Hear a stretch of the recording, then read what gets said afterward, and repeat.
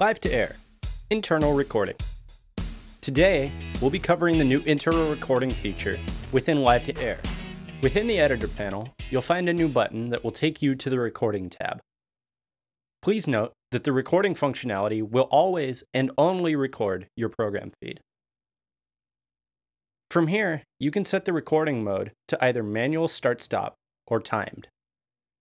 Timed recordings can be set between 10 seconds and 3 minutes of recording. When you are satisfied with all of your settings, hit the record button to start your recording.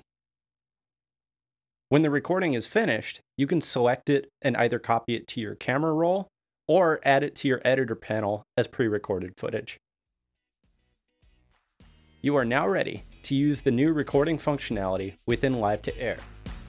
If you have any further questions that are not answered in this tutorial, we have an FAQ section embedded in the settings menu of the app.